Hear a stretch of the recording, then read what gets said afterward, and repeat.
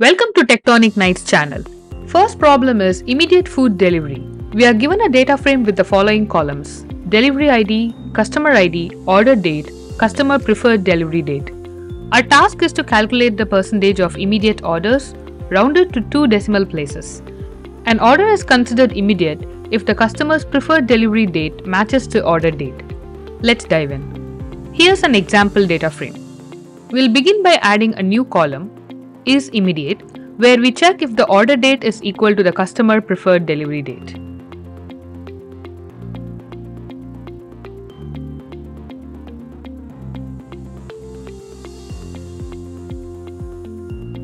Next, we can calculate the percentage of immediate orders by using the mean function in pandas. This will give us the proportion of true values in the is immediate column. Next, we round the result to two decimal places using round method. Lastly, we create a new data frame containing this calculated percentage.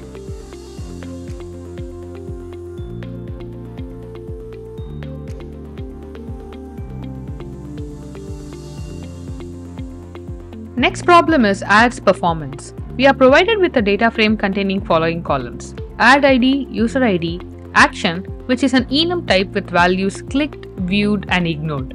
Our task is to calculate the click-through rate for each ad. The click-through rate is defined as follows.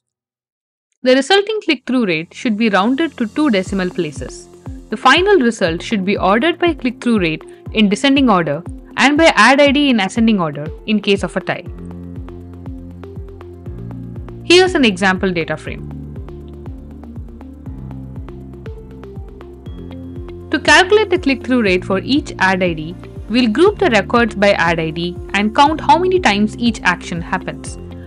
We can use value counts method here, which simply counts how often each unique value appears in a series and gives us a new series with those counts.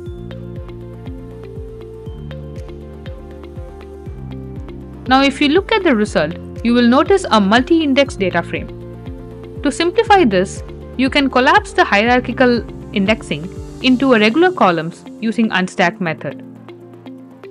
Basically, the unstack method converts the multi-level index into columns, reshaping the data frame from a multi-dimensional structure to a simpler flat structure.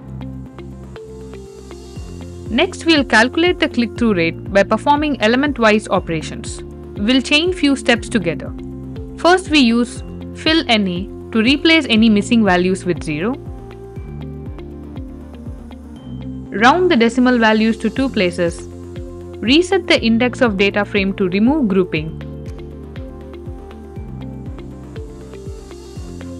Rename the click-through rate column. And finally sort the values as specified in the problem. That is, sort CTR in descending order first and then ad ID in ascending order.